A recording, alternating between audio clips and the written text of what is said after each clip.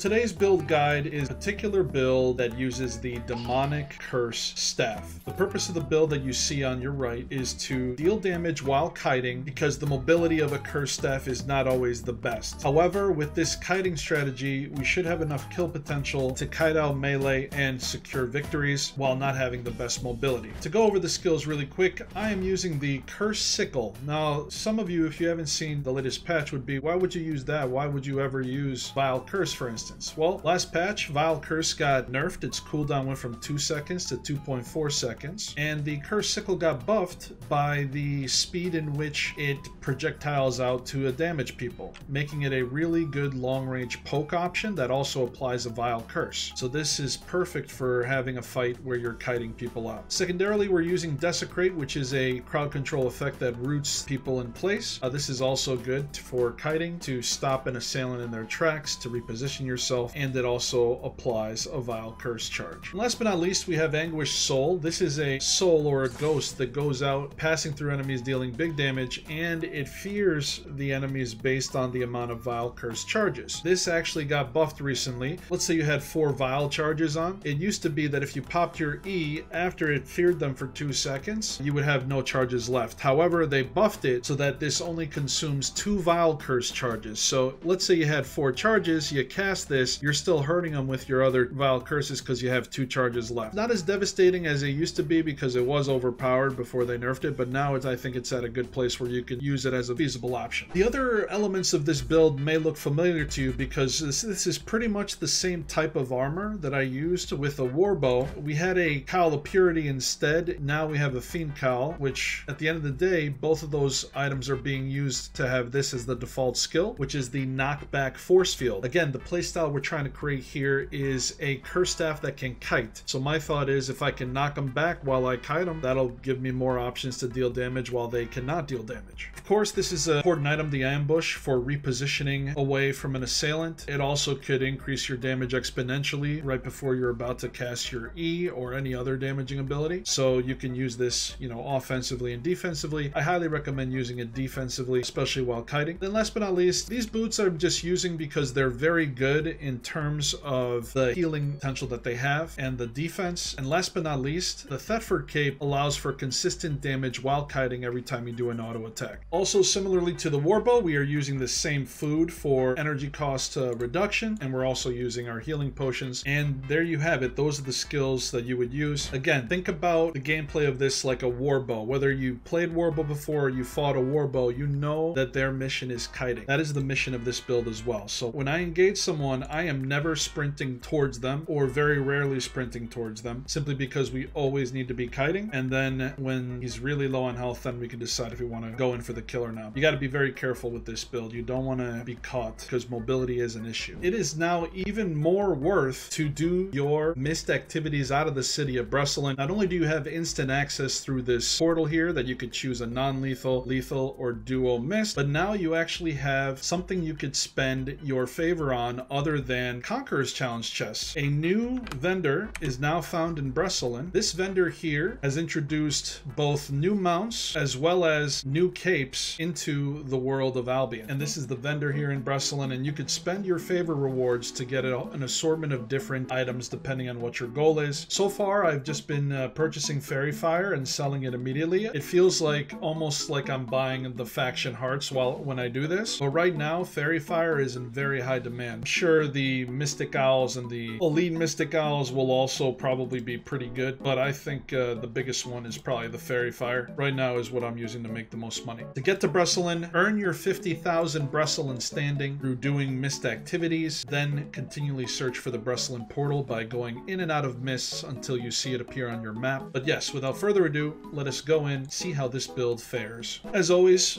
if you did not eat your food prior to entering the mist, make sure that you eat your food as soon as you realize you don't have it it could be the difference between life and death. So the demonic staff for PvE, especially when you're using your PvP skills, uh, is actually not terrible. However, it's not the greatest either, so you do have to be careful, especially uh, if you want to retain your abilities for PvP. Using your Q and E is fine in PvE, save your root in case you need it to get away. As with uh, any kiting playstyle, you do want to keep your mount near you kind of at all times. You could certainly walk through certain areas if you wanted to, but your lack of mobility is is probably better when you have your mount near you. I do believe we just saw a name tag. Yes, we did. Okay, let's see who this is. This is actually a possible fight that we could take if this individual is interested. I don't think he would be, but if he is, I would be interested. So if he's the if he's the one we saw, we're not too too worried about him. But we'll just we'll just carefully farm here, just clear this out. This is the largest of the outposts in the zone, and there's usually a decent amount of people that may be here. Remember, don't do what I just did. I just used my Desecrate on those mobs. I should have saved it for if somebody was coming. There's another person down there. Same guy as before. He's the Axe guy. Like I said, I'm willing to give it a shot against the Axe guy. Uh, the reason why the Axe individual there may have been a, a good fight for us is that our Desecrate, I believe, will be able to root him in place when he casts his E. His E can go through just about everything, right? It can go through a firewall. It can go through a wind wall, but it can be rooted in place pretty much allowing it to be useless. So with our Desecrate alone, it would be very useful. If he was spinning and we casted our E, however, he would have not been affected by the fear because he could have just gone straight through it with his spinning. So just know, axes are fairly good combatants for us to take. Battle axes are pretty difficult though. It might be a tough one to go after that, but a great axe is not bad at all. Alright, so now the outpost is completed. Let us see where the chest is. At? Oh, okay. We got somebody right here. Oh, okay. We got we got a fight maybe.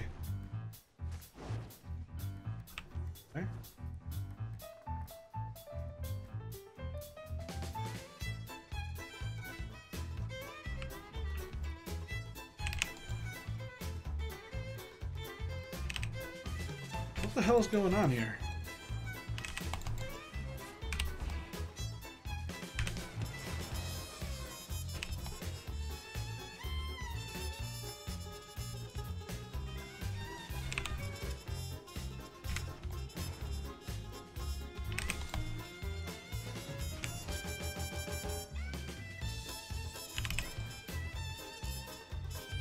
Be kiting.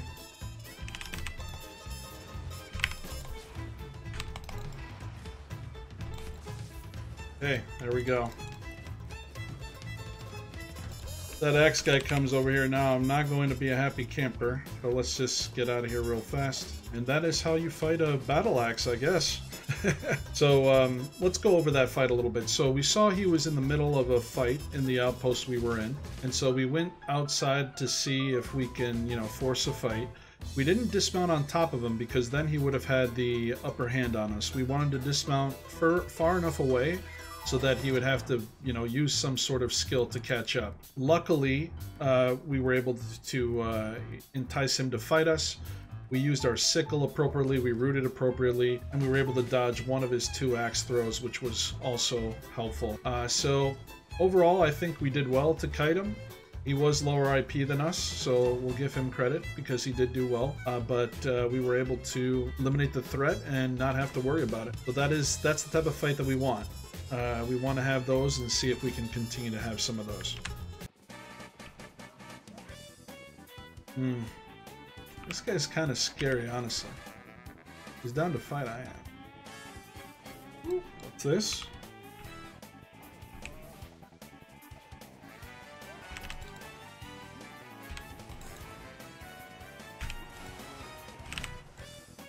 Oof, that, that hurt him bad.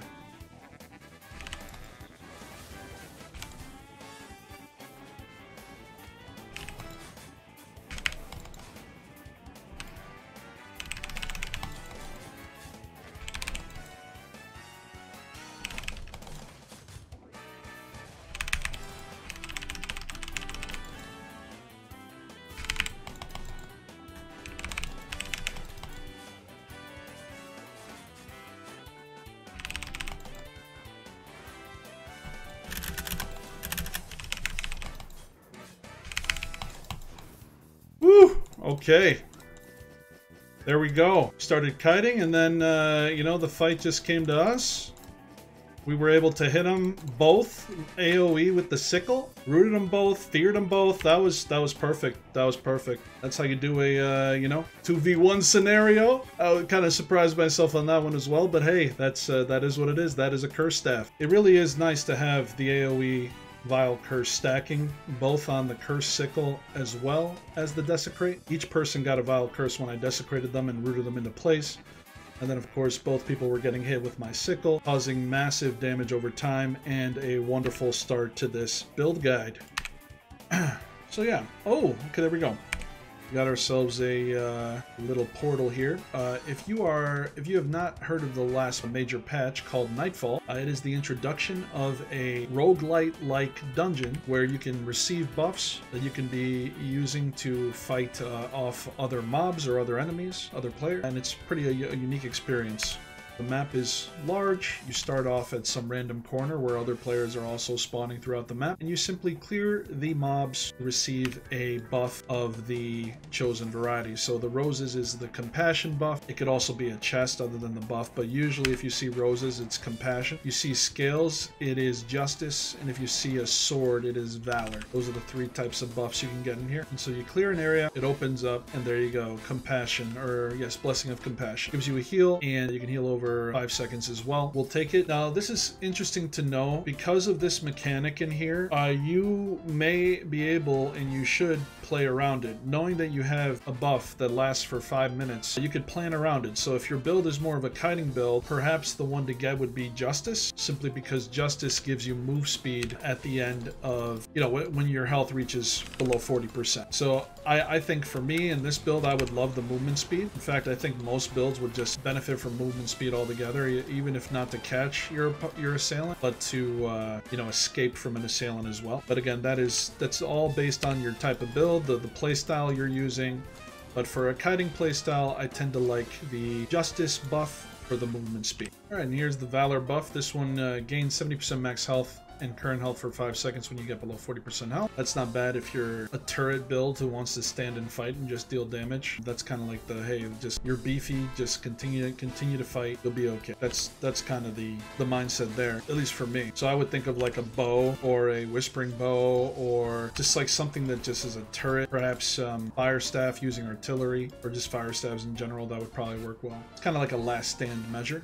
Another thing to note about the Nightfall Abbey is how narrow things are and how many exits there are. So if you're not if you don't know where you're going, you could find yourself getting into a dead end where mobs are and you know if you're being chased by a, another player, you'll probably die. That's that's happened to me before. So Number one thing to know, make sure you know where the exits are to the rooms. Have a bit of a strategy involved and locate the nearest exit so that if you do get in trouble, you can decide, okay, if I get in trouble, I go north because I know where the exit is. So again, if we're going to contest this, we need to know that there's an exit right here. So we're literally just going to run up and go there if we have an issue with somebody at the chest and we don't want to fight it. That'll be our exit strategy. Make sure you make one of those, it'll save your life multiple times. Who's this? The really shitty rat. What you doing?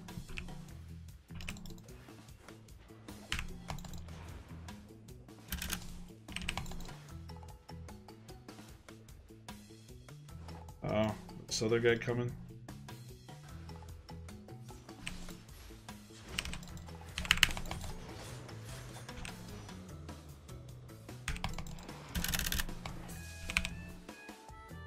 You, dude.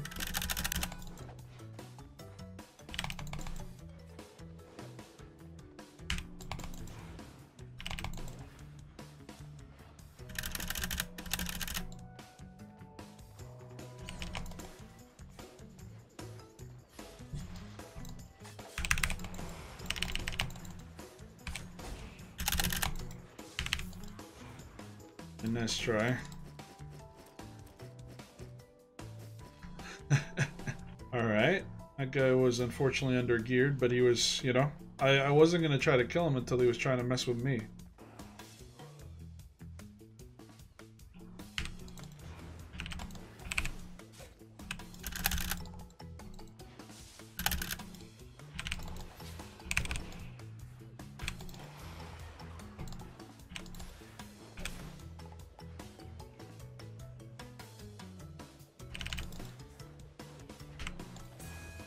You're so lucky, dude.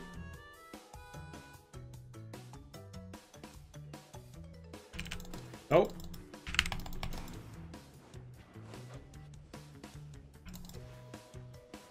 Yes, that hit him. He might be going down.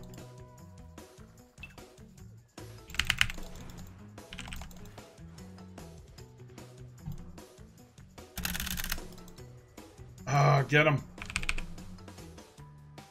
Yes, there we go, you little shit. That's what you get, bro. Had to get me twice in a row?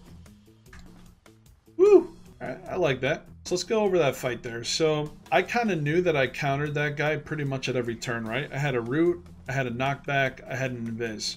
So I was playing dangerous against those mobs. I don't recommend doing what I do unless you're a little bit more experienced, but I was baiting somewhat. And so what we ended up doing there is we actually nicked him in the in, in the right places. We invised at the right time when he came in to, to use his ultimate. We knocked him back as well. We used our fear effectively for him to just get, you know, huge damage. So yeah, it was overall a good uh, a good engagement there. He was lower IP, so I mean you can't be you can't take too much stock in that, but he did have a couple of things that were good for him. He was he was cleansing my dots. So whenever you see somebody with a guardian helmet, you know, make sure you understand that he can cleanse all of your dots. That's that's kind of a counter to us as as curse staffs. It's not a full counter. We could still just dot him up again, but like it, it, definitely stops a big chunk of our damage going through, and it could it could allow them to mount up as well. Yeah, it's it's not something we like. Doesn't mean we shouldn't fight it. It just means that they have that ability that we need to be careful of. So it's a great great curse.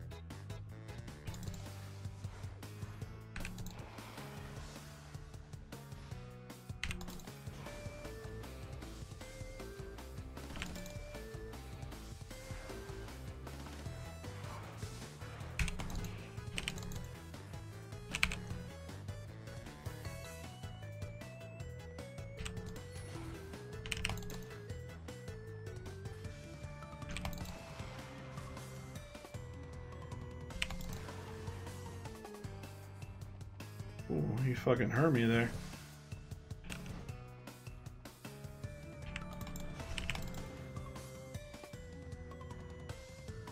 I think he might be dead. I think he's dead either way, maybe? Yep, later. Got him, dude. That was huge. Did you see that shit? 700k kill, boys. Holy shnikes. What does this guy have? Oh my god, this guy was 6.3. Yo, dude. Yo! This build is fucking phenomenal, dude. Holy smokies.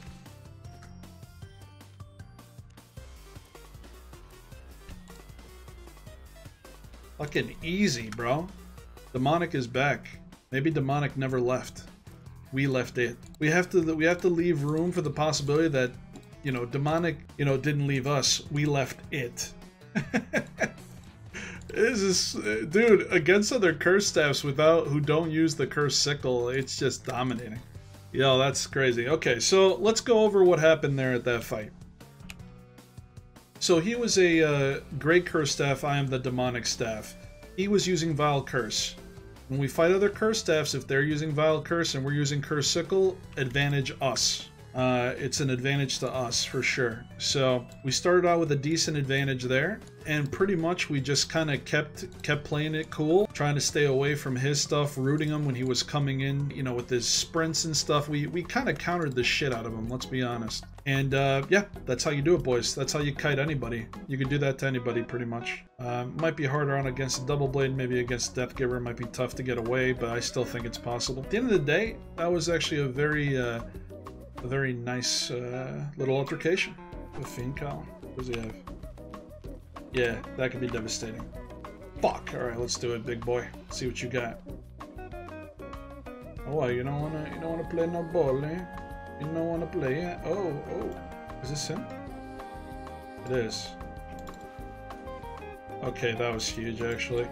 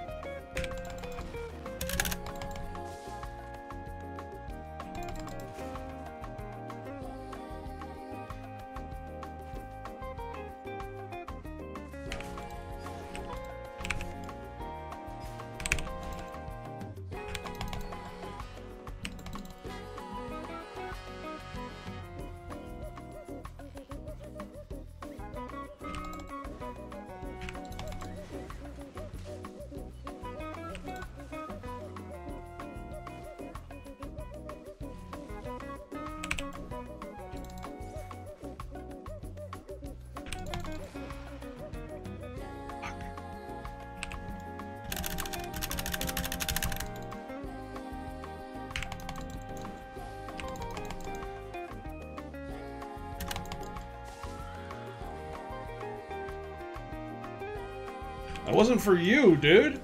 Fucking idiot.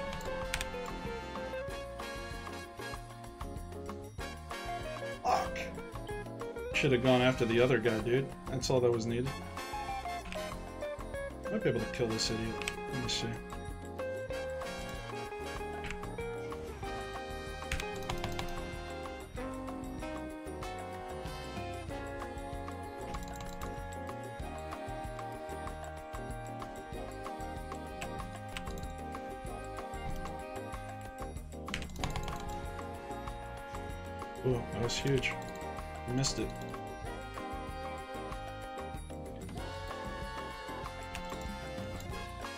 He's done. Fuck, I missed.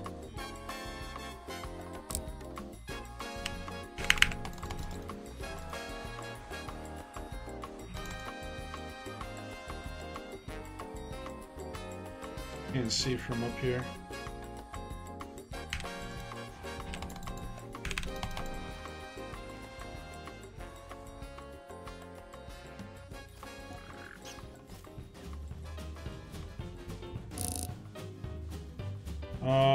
Get that much distance on me? Sucks.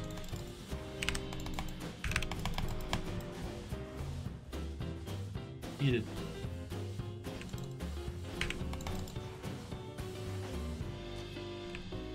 Did he, does he have the cursed sickle now? No.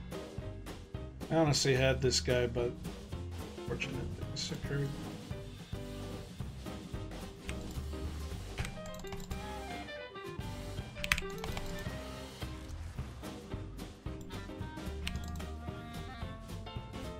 You're done now, bud. Maybe not.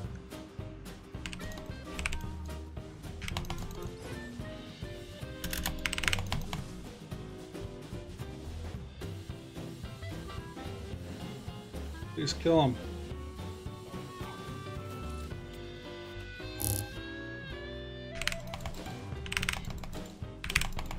Don't fucker. Don't fuck with me. It's mine!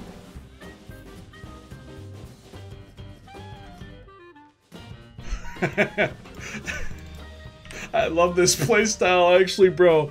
I actually love this playstyle. I, I feel dirty, but I love it. I'm sorry.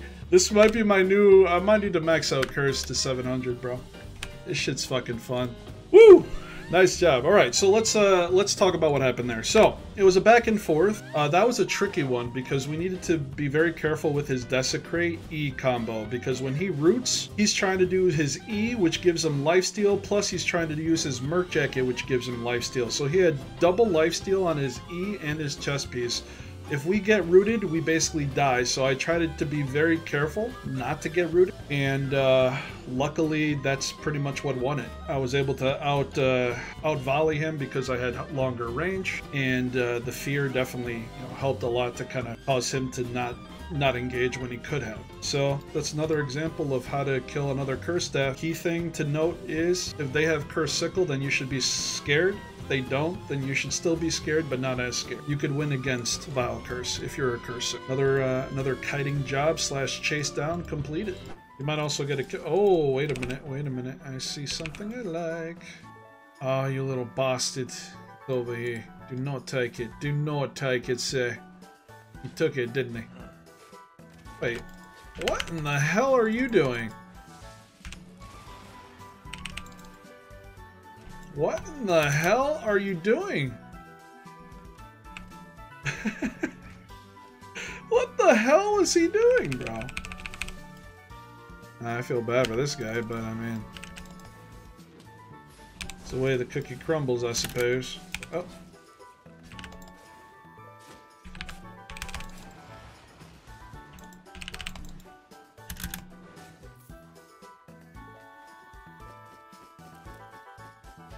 I'm not sure what that guy was doing though. He was not paying attention. That's what that's one thing he wasn't doing. Hi guys, Blackboa here. Thanks so much for watching my latest video. If you like what you saw, please hit that like and subscribe button on your way out. I truly appreciate it. Thanks bros, and I'll see you next time.